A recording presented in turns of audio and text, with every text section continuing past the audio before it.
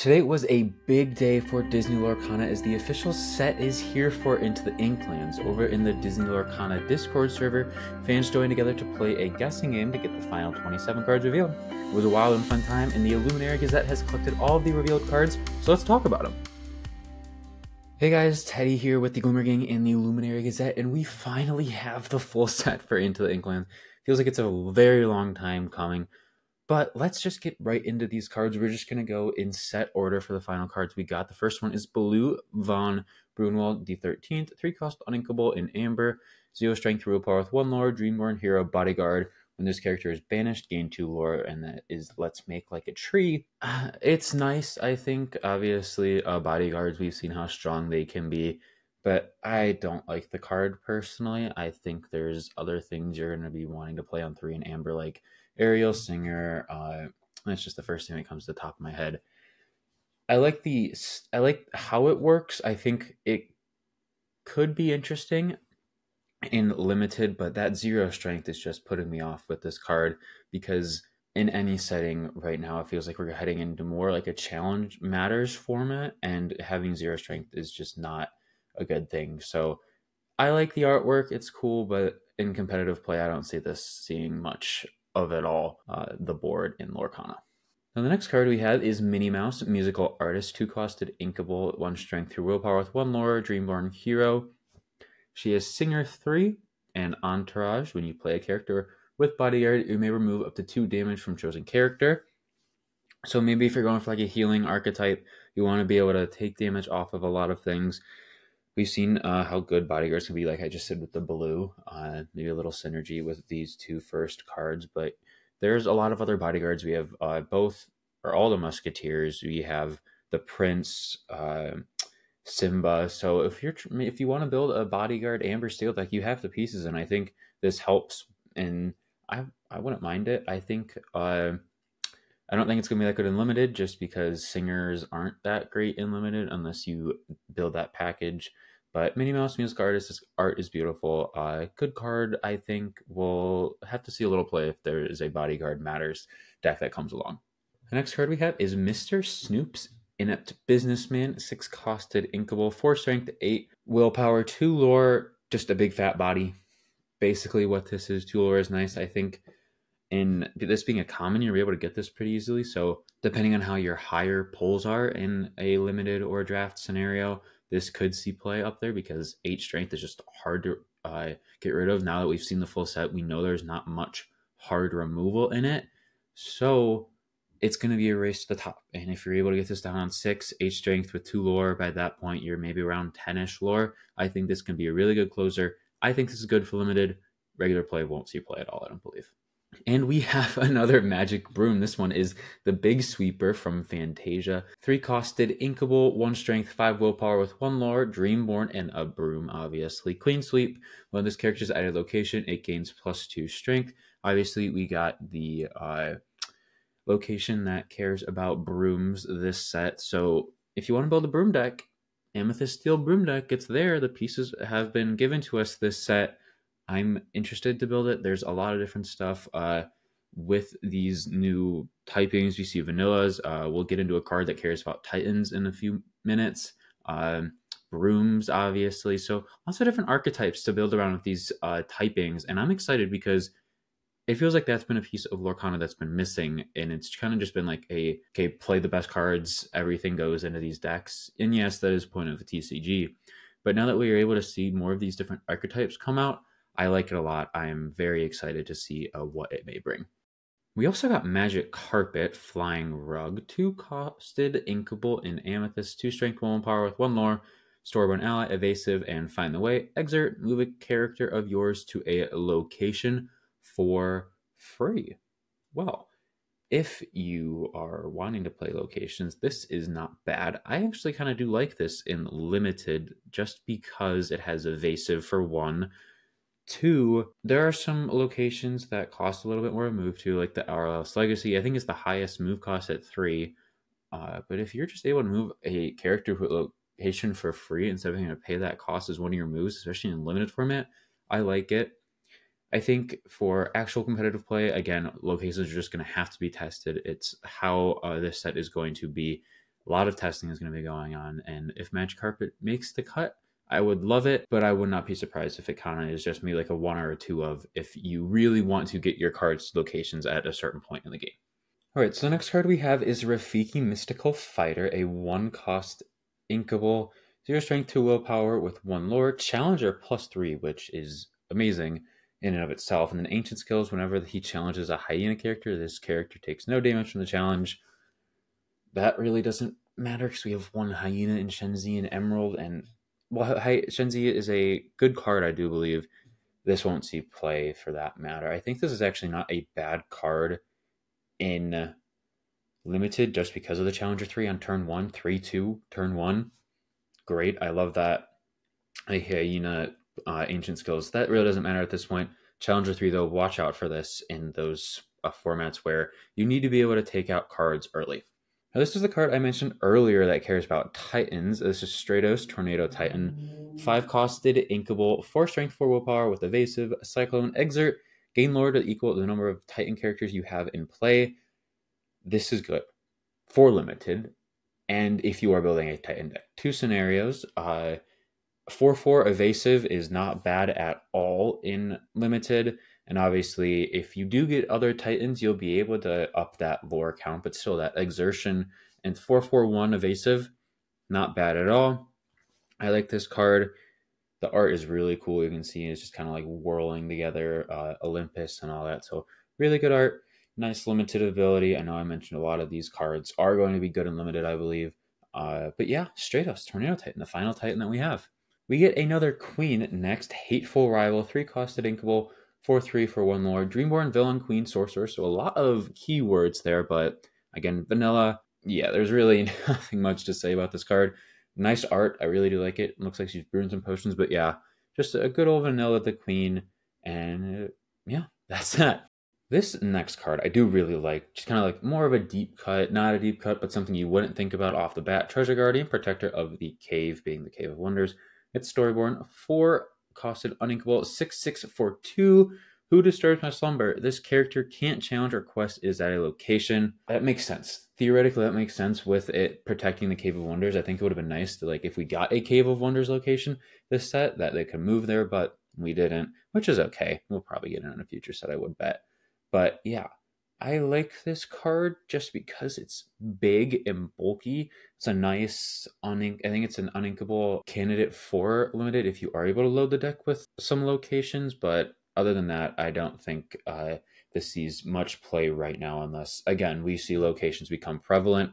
But Treasure Guardian, I like the concept behind it. I still think we need to see more from locations before this is truly known on how good it is. Next card we have is the Lamp. It's an item in Amethyst, two costed, uninkable, good or evil. Banish this item. If you have a character named Jafar in play, draw two cards. If you have a character named Genie in play, return chosen character with four or less to their player's hand. So if you have both of them in play, theoretically you're drawing two cards and returning a character with cost four or less back to their player's hand. If you have one, then you're only doing the one effect. I do sort of like it. I'm hesitant because I don't know. It, it's good in like a stories format. Obviously, you have Jafar, Genie, the lamp, and all that in there. But just then again, like these specific cards, with only having three sets so far, these aren't going to be fully fleshed out. I mean, they have Lorcana said they have six sets already in the works, and probably more at this point. They said six when set one was coming out. So they probably are thinking about 2025 sets at this point. So yeah, cool ability for like a stories format, but just like overall, not the greatest in competitive play. I'm excited to see if this does see any play in the future though, once we get more Jafar and Genie cards. Moving into Emerald, we have Friar Tuck, Priest of Nottingham, four costed, inkable, two four for two lore, you thieving scoundrel. When you play this character, the player or players with the most cards in their hand chooses and discards a card. Great in multiplayer. We've seen Emerald can be really good in multiplayer with cards like Pack Tactics. I do really like this. Emerald Steel in multiplayer seems like a very good archetype. I don't think it sees play in regular 1v1, but if you are looking to build a multiplayer deck with more cards we have now, Friar Tuck is a great inclusion into a deck like that. We only had two more cards to go in Emerald, and the other one is Starlight Vial. This is actually straight from the world of Lorcana, four costed uninkable item. Efficient Energy, Exert, you pay two less for the next action you play this turn. Trap, pay two, banish this item, draw two cards, then choose and discard a card. So you're paying less for an action, you banish it, you get to draw two cards, but then you have to discard something. I don't like it. It just seems like too much going on at once where like I would play the Friar Tuck over this, if I'm being honest. You get a body on board. Two lore on that Tuck is great. Well, I do like seeing new cards from the world of Lorcana. I wish this card was better in that regard. But Starlight Vial, unless we see actions matters decks start to arise, I don't think this sees much play, unfortunately. I would love it to see play, but then again, it's just it I don't think it has a place in the meta at this point in time. Moving into Ruby with a vanilla to start us off. Billy Bones, Keeper of the Map, 5 costed, inkable, 6 5 for 1. Like I said, just a vanilla, a big body for limited, but other than that, just a common filler. Nice character though. I think this is uh, something that I don't think people were rather expecting to be in this set. But again, just vanilla, plain and simple. Nice card to get, and just goes into your bulk box at the end of the day, I think. Now, this card is one I think a lot of people were waiting for. Madame Medusa, the boss, six costed uninkable, 4 4 for 1, Storyborn villain. That terrible woman, when you play this character, banish chosen opposing character with 3 strength or less. Kind of like Tremaine. Obviously, you only can do uh, characters with 3 cost or less, but you get to choose, which is really nice. I think this may be slept on. I think this is a card that we is meta dependent because if there are a lot of aggro decks being played, then Madame Medusa can be put into decks to combat that. But if it is more bigger decks that are being played, then when I say bigger, I mean bigger strength, bigger willpower, stuff like that. Madame Medusa doesn't have a spot, but I do like it if aggro or just go wide decks find a place in the meta, which I think they do. So keep Madame Medusa in the back of your mind if those decks start to take over the format. And the third and final card in Ruby is On Your Feet Now. For costed uninkable action, ready all characters and deal one damage. To each of them, they can't quest for the rest of this turn. So basically, it's saying quest with all your characters, make sure they're not about to die and only have one health left. Play On Your Feet now, and then you can wipe the board uh, in challenges if you wanted to. I don't know about this card. I mean, it is really nice to be able to ready everything because you can ready everything and basically say, nope, you can't challenge me next turn. Uh, it's a good win condition, I think. You quest with everything, say like you need four more, and you know if they challenge into you, then you are gonna like not win essentially. This is a good card for those situations where you just need to say keep your characters alive for one more turn. It's a very specific scenario where I think this card is used, but I don't actually mind it at all. I really like it. I'm going to be trying to put it into decks. That one damage is okay. I think we have cards that when things are damaged, like Hydra, for example, benefits off of this. So I'll say again, keep this in the back of your mind as a card that we could see play, even though it may not look the best off the bat. All right, time for Sapphire. We have Captain Amelia, first in command, three costed inkable, Storyborn, alien captain, one strength, five willpower with one lore, discipline during your turn. This character gains evasive. I don't like it because it only has one strength. Even with evasive, it feels it just doesn't feel good. Hitting for one strength. When you have five willpower, yes, it might take a few things to run into it, but it's just that one strength is not good. It as much as I wanted this card to be good, even in like if this was even two or three strength, in limited, it would be great. If it was two, then I would love this card. But one, like, what are you really going to be hitting? So, great character, not on a great card, unfortunately.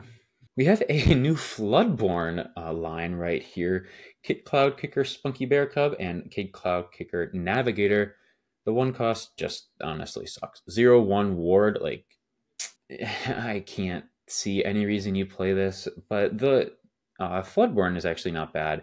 Six costed, inkable, two, five, four, three lore. Three lore is always great. Shift three, so getting a three cost or three lore character down on shift three is great.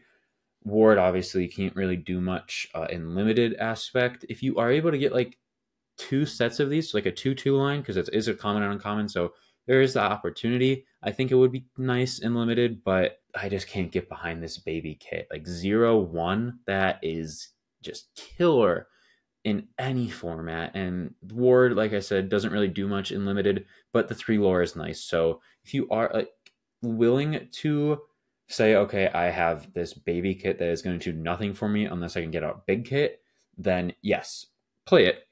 But you can also play the big kit as just a closer on turn six to drop down a three lore character with a respectable willpower that will take probably one or two hits to take out. Next card we have is Pluto, Mickey's clever friend, just a vanilla. Uh, I like this in limited, I guess. I don't know. It's a nice body. Four willpower isn't bad, but again, it's just there are other options I think you want to play. Especially limited, you want to find cards that do stuff when you play them or have more lore. So something like this doesn't really entice me. I'm curious to know what he's mad about because his flavor text said it was his job to keep Gustav's attention away so Minnie could get to the cave. Is it the Minnie that we saw in the uh, water? Going to that cave? Is it a different cave? Who knows? Little story piece here, but again, just in filler card, I think. But it's Pluto, so you gotta love the dog. Next one, though, this art is phenomenal. Uh, the Queen Mirror Seeker, another queen, uh, again, Storyborn Villain, Queen Sorcerer, four costed, inkable, two strength, five willpower with one lore, calculating in vain. When this character quests, you may look at the top three cards of your deck and put them back in any order. So just some nice reorganization. I actually do like this unlimited just because you're looking for sometimes so specific cards to get you to a point. If you need to find a bomb and you have something on the top of your deck that you need next turn, I like this. It's an uncommon, so it'll be easier to get. I like the ability, and obviously five strength or five willpower is nothing to mess with, and you can get a few quests off of this. So look out for this in limited. I think it is going to be a good card, and obviously that art is, like I said, phenomenal. I'm going to try to get a play set of these, even though they might not be playing actual uh, competitive play. But I do like this card overall. I will give it a higher rating for sure. We have Heart of Te Fiti next, an item in Sapphire. Three costed inkable, create life, exert, pay two, put the top card of your deck into your inkwell face down, and exerted. So more ramp. Sapphire loves their ramp. As we can see, we have so many options now. I like this. This is inkable, but I honestly would rather play Fishbone Quill. I don't want to have to pay two to put something in. Yes, you for Fishbone Quill, you're taking card out of your hand. This is just going from the top of your deck. So maybe there's some testing there to see, but I would much rather just be able to play something with Fishbone Quill into my just into my inkwell from my hand, and then use my rest of my ink to play probably Hiram, uh, which is the item loving character. So I like the concept of it. Don't think it's that good though, just because you have to pay two, which seems very steep for something like this. We did get our final location is only vanilla, but it is a very good vanilla, I think. Four costed inkable, McDuck Manor, Scrooge's Mansion, one move cost, nine willpower. That's big. I mean, that is huge. And two passive lore. I think this is probably the best location in limited. It's up there with some of the best locations in the game, I think. Even though it doesn't really do anything, it's still giving you two passive lore and you get to and it's gonna stay on the field for a turn or two. Nine willpower, you're gonna have to attack with like, probably like a Maui or and something with three strength. This is gonna take two or three characters just off the top of my head to take out. Yeah, this is really good, I think. I think behind the Queen's castle, this may be the second best uh, location. Obviously, like I said so many times in these Gazette videos, we don't really know how good locations are until we test with them, until we play with them. But from what I've seen, they're not bad, and McDuck Manor just shows that these can be good without abilities on them. Getting into the final ink of the video, we have Gustav the Giant, Terror of the Kingdom, three costed, inkable, 6 6 for 1, all tied up. This character enters play exerted and can't ready until the start of your turn. Break free during your turn. Whenever one of your other characters banishes another character in a challenge, you may ready this character. Truthfully, I don't know how good or bad this card is going to be. I do think that that all tied up ability is just interesting because obviously you have this coming in pretty early at three, and it is a big, big body, but you can't do anything with it until your next turn because it comes into play exerted and it can be the target of an attack from other from your opponent. So obviously if they see this come down they may go after it but it's going to take out anything early. So I don't think it's a that ability isn't bad. It doesn't really play into much in limited, Break Free is a kind of ability where you want to play this at the start of your turn and then banish something else so you ready this. I think this card is not bad and limited. I don't think it's used playing regular play, but a lot of the cards we've seen today, a lot of rares we've seen today, obviously, are not are going to be somewhat playable in limited. I think just depends on kind of the archetype you decide to build around. We got a new Mickey Mouse card. Always got to get the Mickeys. Stalwart Explorer, three costed Inkable Dreamborn Hero, three three for one. Let's take a look. This character gets plus one strength for each location you have in play. So if you want to flood the board with locations, Mickey is going to become a big body other than that, I don't know how good this card is. Again, it's just a common, so obviously they're not going to be that great. Again, maybe a good card for limited with 3 3, but I, again, I think this just, it has a very specific need in its ability. I don't know how many locations are going to be played in a 40, but that seems like too much. So, yeah, I am not entirely sold on this card. I think it could be good if we see a deck that runs a solid amount of locations, I think we saw the Minnie that was like released at the way the beginning of the set that gets plus two strength while being a location. So both the Steel Mickey and Minnie in this set care about locations, but again, we just have to see how good locations are before we can really test and see how good the characters that care about locations are in the meta. We have Mufasa, Champion of the Pride Lands. It is only vanilla, but seven costed inkable, three strength, and ten willpower, and three lore. This is a closer and limited, I think. I don't think this sees play in actual competitive play, but again, like I've said, the theme of this these reveals are good limited cards. 10 willpower is nothing to mess with. And if you get this down, it's going to take a hot sec for them to deal with it. And you're going to get two, possibly three quests off of this. So it's nine lore off of one card more or less six. So yeah, good limited card right here. Really good limited card. And obviously it's a rare. So you have a good shot at getting this for one of your decks. Now, the second to last card we have is Pyros Lava Titan, 5 costed inkable, 5 4 for 1.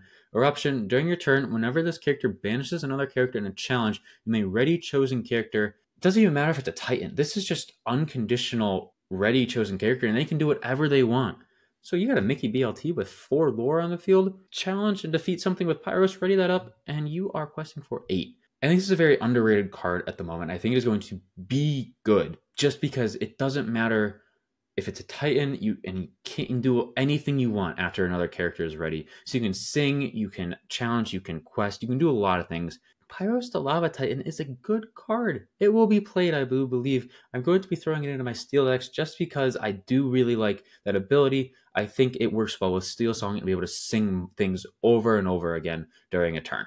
And the final card we got, the final card in Into the Inklands, besides the new enchantments that we are still yet to see. But the final card in the base set is Razoul Palace Guard. Two cost, one strength, three willpower for one lore, Storyborn ally captain. Looky here, while this character has no damage, he gets plus two. So a 3-3 at the start of a limited game isn't bad. Like I said, a, like a lot of these cards are good and limited. They will see play limited. Obviously, this isn't a card I don't think that's going to see much play in regular competitive because obviously it's a common. I mean, we we've seen cards like Benja see play, but that's because there are items everywhere. But that is a very specific card. Razoul Palace Guard, good in uh, early games of limited, but other than that, I don't think it will see play. And that was edition six of the Illuminary Gazette. I hope you all enjoyed this episode. We have the full set. Lots of things to test with, lots of new things to see how they work. But that was the episode. I hope you all enjoyed. Hit that subscribe button, like, tell us what your favorite card is in the entire set, and we'll talk soon. Thanks for watching, everyone.